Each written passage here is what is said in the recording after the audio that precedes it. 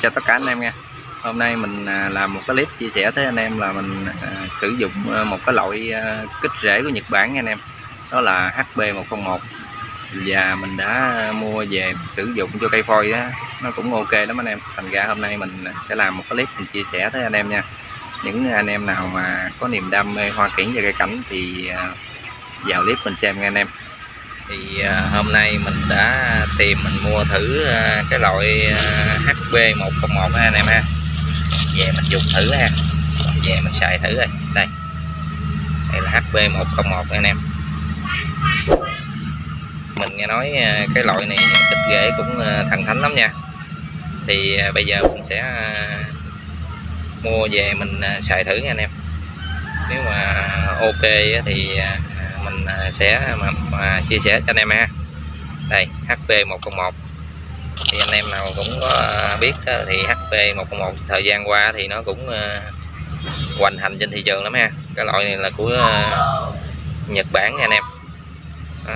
thì mình không biết là công dụng nó như thế nào nhưng mà thấy mấy anh em khác xài thì cũng ok lắm. Thành ra mình mua về mình xài thử anh em. Đây đây là giấy à, hướng dẫn sử dụng bằng tiếng Việt. À, thì à, ở trong đây là tỷ lệ pha thì à, 1 đến 2 giọt cho một lít nước anh em ha. Đây.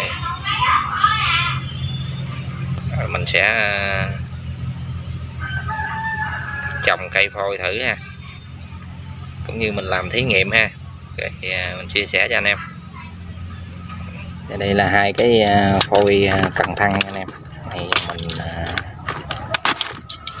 của gì mình á trồng rồi mình à, xin à, một gốc về mình chơi nha anh em. Chứ mình không có mua ha. Đây à, dì mình trồng cái gốc này cũng đâu phải nói mười mấy năm nhưng mà nó như đất nó không được thấy cho nó không tốt anh em à cũng thấy hôm qua mình về ngoài mình bứng xong xuôi mình cắt rồi mình đem về mình à, mình mình lấy anh em cho anh em à Đó đây là gốc cũng to lắm nha anh em ha. Đó. thì đây là cái à, gốc nha anh em ha, đây mình quay cận cảnh cho anh em xem ha. Đây. Đây là cái à, gốc ha. Mình sẽ để cái cây à, nguyên cái cây nó trên màn hình cho anh em xem ha. Đó đó là cái cây à, trên màn hình của nó nguyên vậy đó anh em. Mình à, để cắt mình lấy cái gốc không ha làm cây à, nhỏ nhỏ ông ờ, mình làm cây bonsai mini chơi à, và đây nó dư một khúc nè anh em. À, để anh em nhìn ha. Đây. Mình đã cắt ra cắt làm hai luôn anh em. Rồi mình à, sẽ à, lấy cái cây này mình mình ngâm mà, mà, mà kích HB 101 nha anh em. Rồi mình sẽ đem mình trồng thử coi nó ờ, mà mà, mà, mà.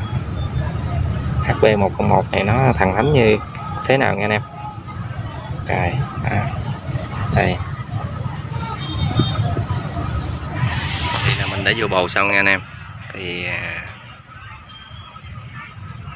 đây là cái gốc còn cái à, ngọn đó thì mình cũng đã chùm bọc lại ha anh em ha. Để coi thử coi à, bao nhiêu ngày thì nó ra mầm à, nha anh em thì à, cái loại kích rễ này trên thị trường thì cũng nhiều anh em xài cũng ok lắm ha. Mình hôm nay mình xài thử. Thì à, nếu mà nó ok ngon lành thì à, cũng chia sẻ cho anh em anh em mua về dùng nha anh em. Đây anh em nhìn thấy à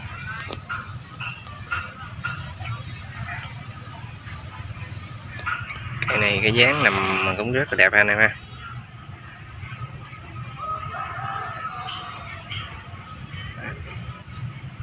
Anh nhìn cũng ờ, ok ha. Lắc lắc. Dáng như một cái con gì nó nằm nha anh em ha. Rồi. Tiếp chào anh em nha. À, anh em ờ, đợi ờ, kết quả nha anh em. Sau 25 ngày nha anh em thì cây hôm nay nó đã bật chồi mạnh ha cây này thì à, khi trồng mình đã cắt bớt lên em ơi cắt bớt lại cho nó thấp thấp chút chút nhìn nó lùng lực đẹp hơn ha. Đây anh em nhìn nè đâm thực rất là mạnh nha. Đó.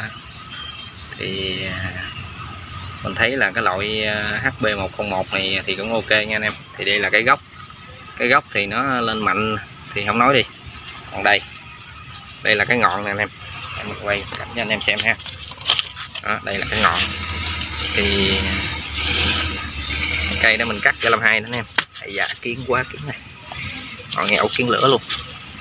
Đó. mình quay cận cảnh cho anh em xem ha. Thì mình dâm mới 24 ngày nha anh em đó. Là mình nói 25 ngày đó. Anh em nhìn ha. Quay vòng cho anh em xem ha. Đây tốt nó ra rất là mạnh nha anh em.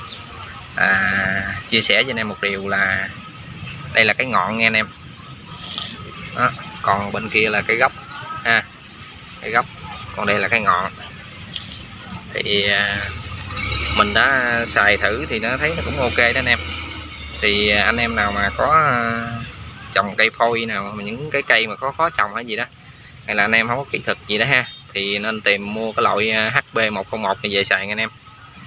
Thì anh em lên trên tiktok hoặc là mấy anh em lên trên youtube hoặc là google với mấy anh em gõ cho mấy anh em tìm mấy anh em mua cũng được nha anh em. Mình ở đây thì mình không có bán mình chỉ mua mình xài thôi. Mình mua ờ, trên tiktok anh em ơi đặt hàng trên tiktok à. mình đem về mình xài thử nè. Thì bây giờ nó đã có hiệu quả rồi mình chia sẻ cho anh em anh em nào mà à, có à, trồng cây kiển gì đó thì à, tìm mua về xài nha anh em. Nó cũng rất là hiệu quả ha. Đó. đây là cần thăng nha anh em. À, đây là cần thăng. Gốc này cũng ờ, to ha. Con này hoành chắc cỡ khoảng 25 đó anh em ơi. Cái này là cái ngọn chứ, ngọn không phải cái gốc ngọn là 25 mình. Bên kia thì ờ, là cái gốc rồi thì ờ, mình đã mua về, mình sử dụng và đã thành công. Thì mình chia sẻ lại cho anh em. Thì anh em nên tìm mua về à, xài nha anh em. Thì cái loại HB101 này thì nó cũng ok đó. Mình xài thấy ok. Mình thì không có buôn bán gì cho nghe anh em. Chỉ mua về mình xài à, thử nghiệm thôi. Rồi mình thấy ok thì mình chia sẻ lại cho anh em. Nhưng mà trước khi anh em mua thì anh em tìm hiểu nha. À, xem à, nhiều khi mấy cái hàng giả thì anh em mua về sử dụng thì nó không có hiệu quả nha anh em ha nên ờ, trước khi anh em mua thì ờ, nên ờ, tìm hiểu cho thật là kỹ nha. Hạn như mấy anh em lên youtube anh em gõ vô mấy anh em mua anh em kiếm. Nó, thuốc kích rễ Nhật Bản HB101 à, mình mua hai lọ thì nó có tám mươi mấy ngàn em ơi ship về tới nhà luôn. Luôn ship luôn là nó có tám mấy ngàn cũng rẻ anh em mua xài một lọ xài cũng nhiều lần lắm mình xài hai cái cây này mình xài ờ, năm sáu giọt vậy anh em ơi. Nhỏ năm sáu giọt gì đó. Trong nước rồi mình ngâm rồi xong xuôi mình trồng, mình lấy nước nó tưới vô thôi.